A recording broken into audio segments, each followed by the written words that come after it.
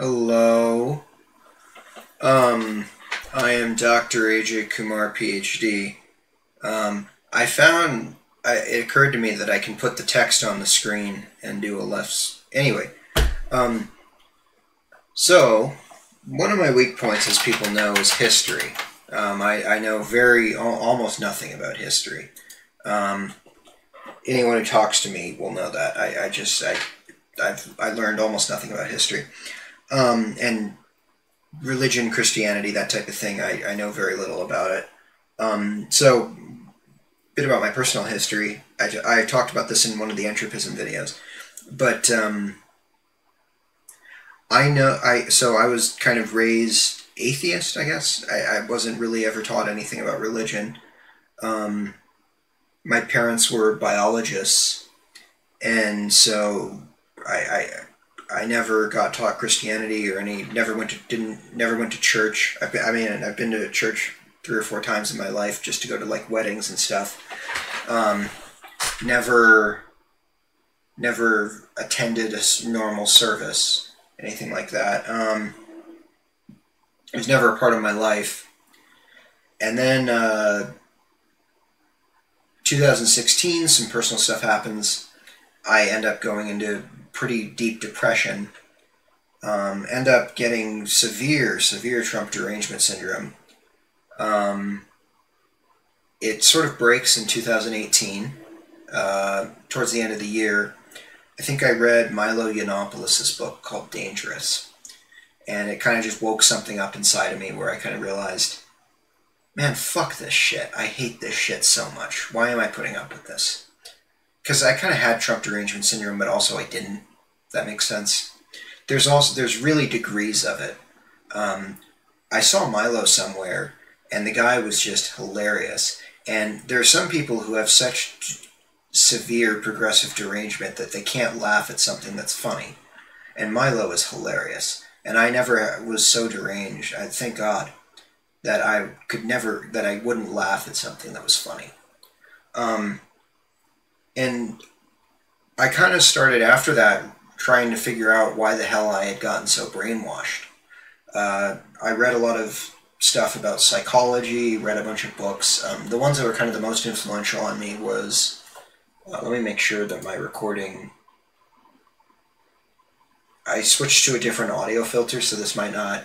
The audio might get screwed up. Anyway, um, and if you're, I, I'm anticipating that there are going to be a bunch of people who watch this who don't know me elsewhere. So most of what I talk about is math, uh, and math has kind of become my religion, which I think is pretty non-pathological. I think math is a pretty good. If I'm going to study something religiously and re- so anyway, let me finish my story about. Um, I started trying to figure out how the hell I had gotten so brainwashed, and really, they're kind of.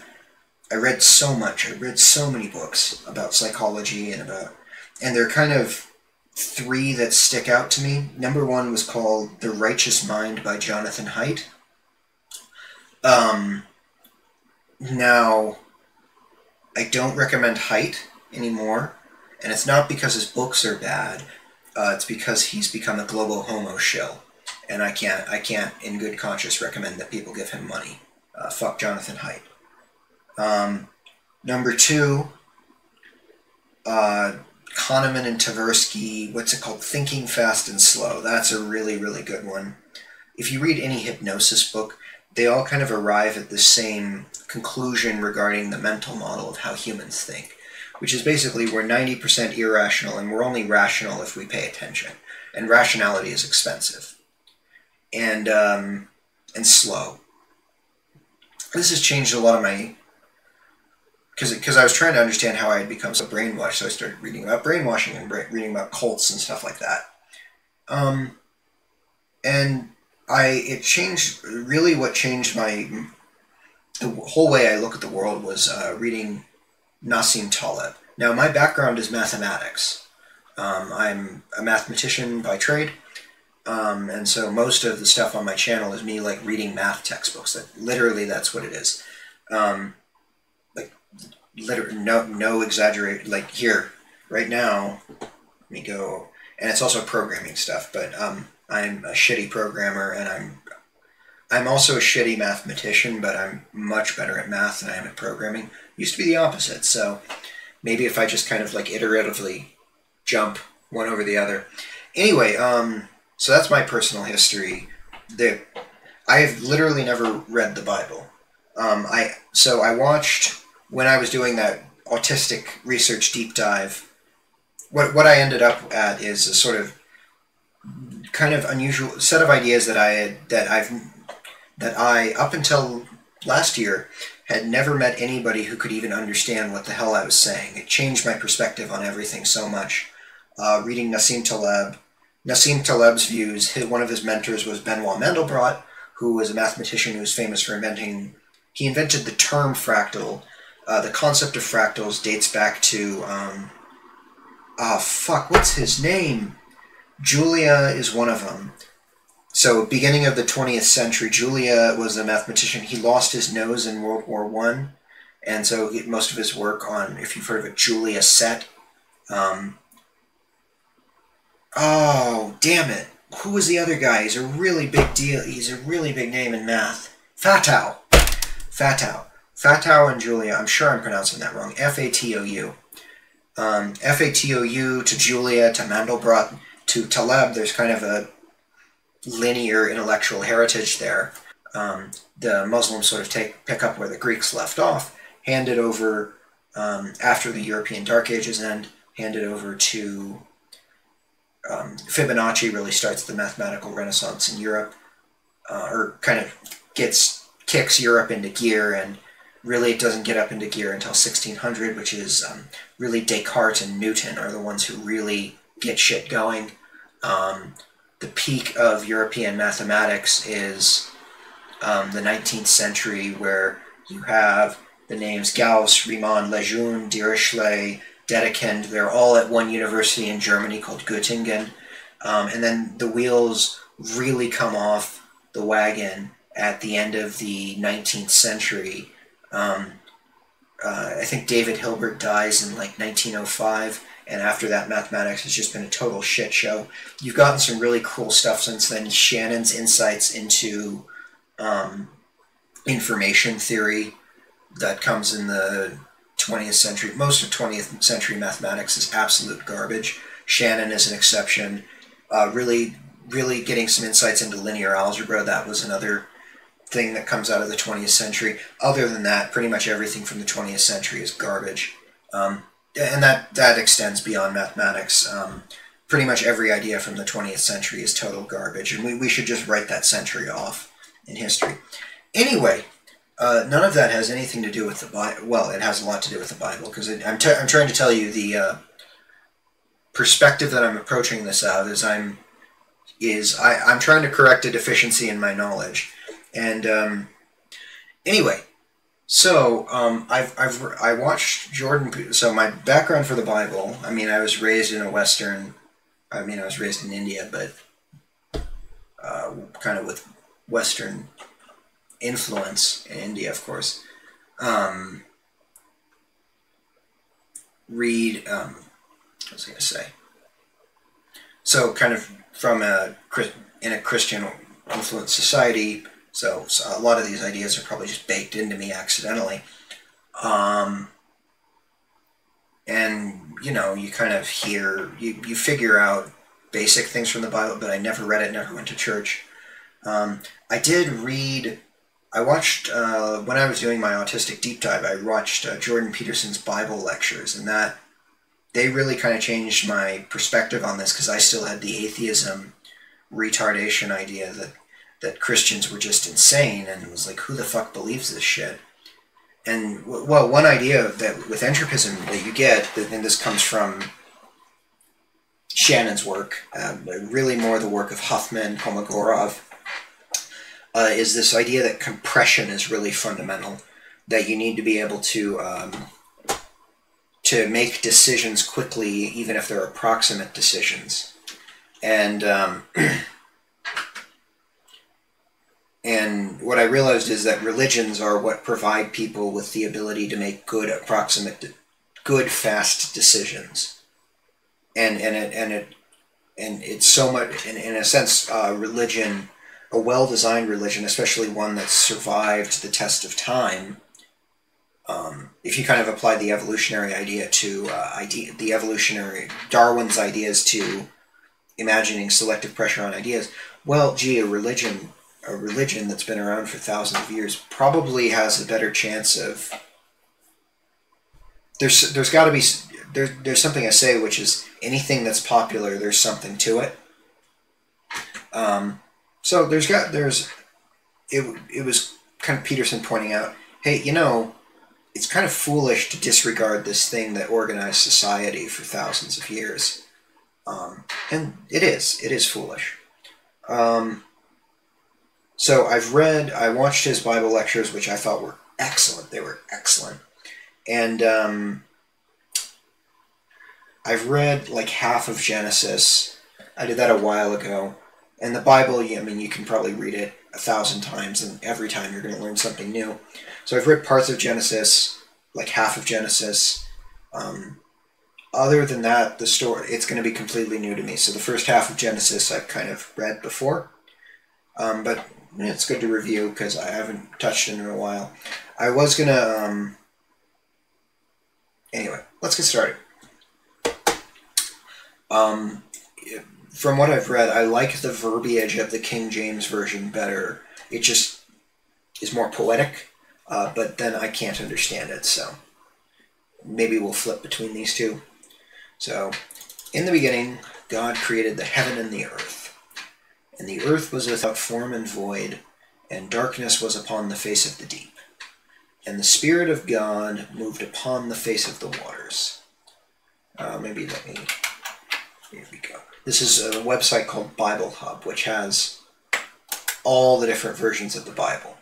Um, the King James version is public domain at this point, right? The New International Version, I think, is um, still in copyright,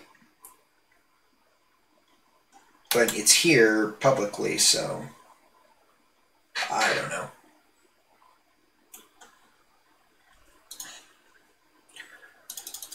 Uh, darkness was upon the face of the deep, and the Spirit of God moved upon the face of the waters. What does this mean?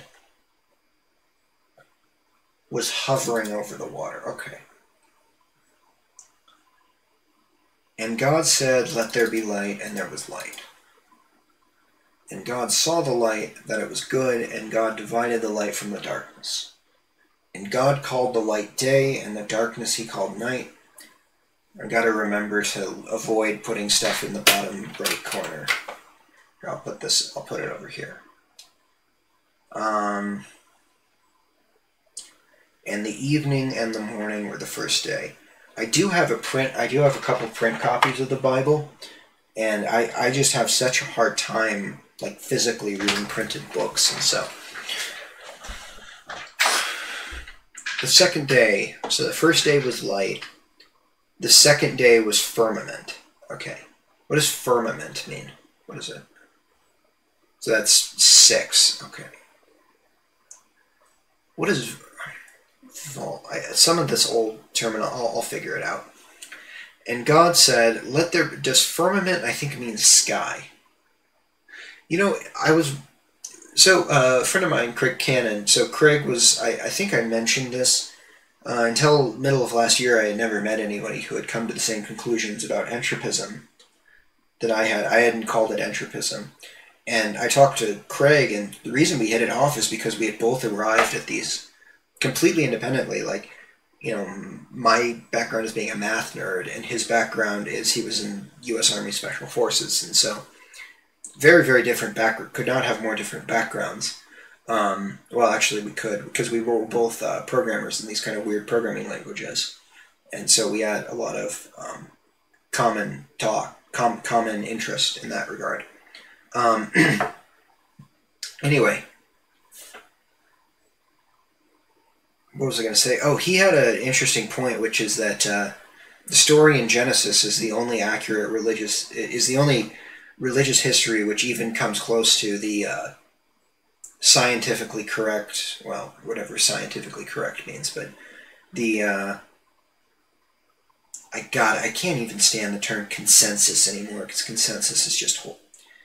Never mind. Um, the the whatever the scientific view about how um, galaxies form. Genesis is pretty close, actually. Um, so what I'm also interested in is that I don't think Christianity is a is a is a um, I think Christianity has sort of been failing slowly since the Enlightenment, and uh, I kind of want to understand why, and also figure out how to how to kind of salvage it in a way that works, if that makes sense. I'm not necessarily talking about salvaging Christianity, but salvaging the structure, at least, that Christianity built, which is currently being undermined by communists. Um, anyway, and God said, so for, firmament. Anyway, I had a real question about this, which was um, divide the waters from the waters, and I thought that was strange. Why is it calling the sky one of the waters? Um, Okay, wait, no. God called the vault sky. I gotta read the New International Version just because I, I, I can understand. It's written in straightforward modern English. So God made the vault and separated the water under the vault. I'm trying to, okay, from the water above it. Maybe there's so much to read, so. God called the vault sky and there was evening and there was morning the second day. Okay. Third day, dry ground. I like the I like these headers because it's like Okay. And God said, Let the waters under the heaven heaven means sky, okay. Be gathered together unto one place, and let the dry land appear. Why is it italicized? The dry land appear, and it was so. And God called the dry land earth, and the gathering together of the waters called he seas. And God saw that it was good. And God said, Let the earth bring forth grass, bring forth grass, the herb yielding seed, and the fruit tree yielding fruit after his kind. Oh boy, whose seed is in itself upon the earth and it was so. And the earth brought forth grass and herb yielding seed after. I, I'm already lost. Let me go read the other one. And God said, Let the water under the sky be gathered into one place, and let the dry ground appear. And it was so. God called the dry ground land, and the gathered waters he called seas. And God saw that it was good. Then God said, let the land produce vegetation, seed bearing plants, and trees on the land that bear fruit with seed in it according to their, to, to their various kinds. And it was so. The land produced vegetation. Plants bearing. I don't know why I'm not following this. Okay, let, maybe I need to zoom out. This is a problem. If you watch my other reading stuff where I'm reading like math textbooks, um, this is a thing I need to do all the time is that I like read a paragraph at a time and I can't I can't read when it's super zoomed in. Okay.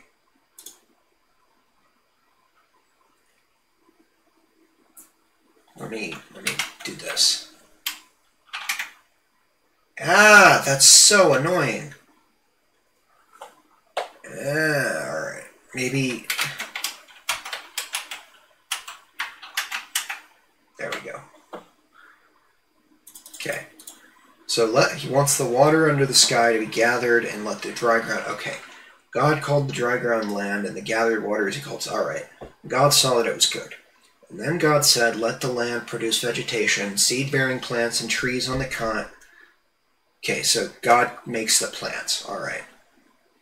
The land produces vegetation. The other reason I'm reading this is, I mean, number one, history is a big problem like I just don't know enough about history, and this is probably the best way to learn about kind of the whatever the history of the ancient, the cradle of civilizations, at least the best accounts of it. And um, I mean, I, it's the greatest classic. And I am going to read it all the way through, literally start to finish. Um, anyway, God saw that it was good. Trees, okay, so he, he makes plants basically. There was evening and morning the third day. Okay, let me read that in the King James Version. Okay. God said, Let the waters under the heaven be gathered into one place, and let the dry land appear. And it was so. And the God called the dry land earth, and the gathering together of the waters he called seas. Okay. And God saw that it was good. And God said, Let the earth bring forth grass, the herb yielding seed, and the fruit tree yielding fruit after his kind, whose seed is in itself upon the earth. And it was so. And the earth brought forth grass, and herb yielding seed after his kind, and tree yielding fruit, whose seed was in itself after his kind. And God saw that it was good. And the evening and the morning were the third day. Okay. Fourth day, sun, moon, stars. And God said, let there be love. Move this over here, sorry. Let there be lights in the vault of the sky to separate the day from the night, and let them serve as signs to mark sacred times. Oops. Sorry. The days and years, and let them be lights in the vault of the sky to give them light on the earth. And it was so. God made two great lights, the greater light to govern the day and the light. Okay, so the sun and the moon. Ah, Okay, no, I started. I meant to. That's why I got confused because I was reading different versions. Let there be lights in the firmament of the heaven to divide the day from the night, and let them be for signs and for seasons and for days for years. And let them be for lights in the firmament of the heaven to give light upon the earth. And it was so. And God made two great lights, the greater light to rule. Okay, so the sun and the moon and the stars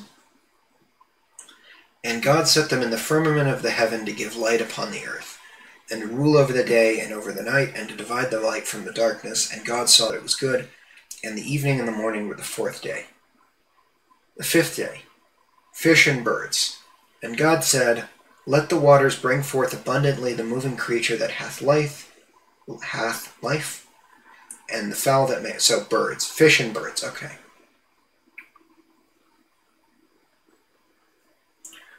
that may fly above the earth in the open firmament of heaven. And God created great whales and every living creature that moveth, which the waters brought forth abundantly after their kind, and every winged fowl after his kind. And God saw that it was good. And God blessed them, saying, Be fruitful and multiply, and fill the waters in the seas, and let fowl multiply in the earth. And the evening and the morning were the fifth day. I already like this book like this it, for some reason there's something like magical when you read this book where it um, it just like it makes it, it puts a weird feeling in my head that I don't ever have reading anything else except like really really good math books I kind of uh, no it's not even that it's like a hypnotic feeling it was it's I don't know I'm sure I'm sure this is why Christians know exactly what I mean but or Christians and Jews, I guess this is the Old Testament. So, sixth day, creatures on land. And God said, Let the earth bring forth the living creature after his kind, cattle and creeping thing. What does creeping thing mean? That means, okay.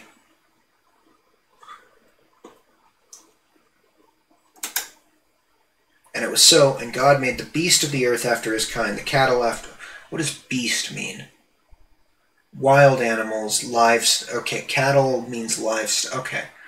Livestock according to their kinds, and all the creatures that move along the ground, that creepeth upon the earth after his kind, and God saw that it was good.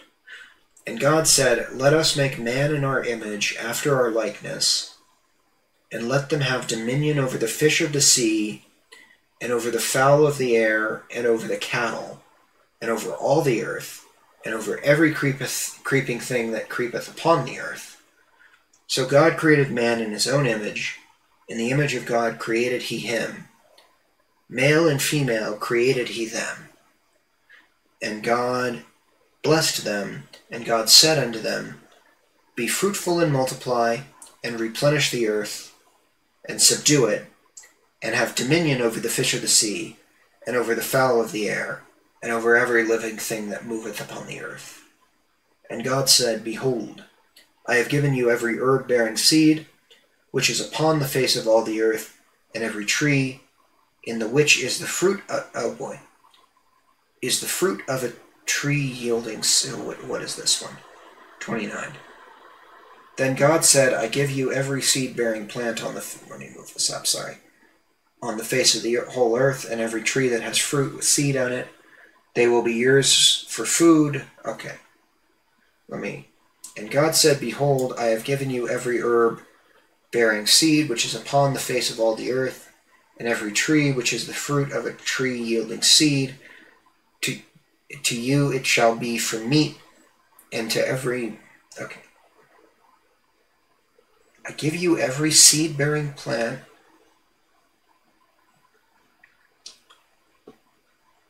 Okay, so plants are for food. That's what it's saying.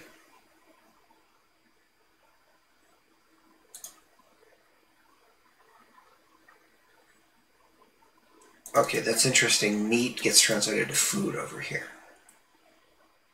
And to all the beasts of the earth, okay, and to every beast of the earth, I like the verbiage in King James better and every fowl of the air, and everything that creepeth upon the earth, wherein there is life. I have given every green herb for meat, and it was so. And God saw everything that he had made, and behold, it was very good. And the evening and the morning were the sixth day. And I'm guessing the seventh day is holy, and that's why I, I vaguely remember that last time I read this. This is good. Um, I started so one the reason I'm doing this really it's not um, it's not for like publicity. It's because um, I the same reason I do the math reading. Number one, I, I guess the math reading probably helps some people.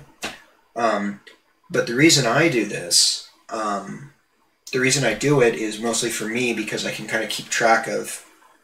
I can go look and say, oh, I haven't read that book in two months. I got to go get back into it and then with a lot of books, especially the math books, there's so much like context that gets built up, like so much structure that gets built up while you're reading it. And if you don't read it for two months, you forget everything. And so if I have a video of me doing like rubber duck debugging while I'm reading it, um, it helps a lot. I am really worried I'm going to get like the copyright people are going to come after me. Um, but I, I, don't I don't think they will. But um, I mean, and I've got a good fair use case. But anyway, the Bible is Bible has to. I mean, maybe the New International Version isn't, but I'm just looking at a website, so that's not. Anyway, the King James Version is absolutely public domain, so I don't mind reading the King James Version. But I might do. I do have a print. I have a print copy of both of these, and so maybe, maybe what I will do is keep the, keep the. I just for copyright reasons, not put. I don't know Anyway, um, yeah, thank you for watching. I will see you in the next video. I kind of want to read more of this, but I, I think one chapter per video is good. Alright, thank you. Bye-bye.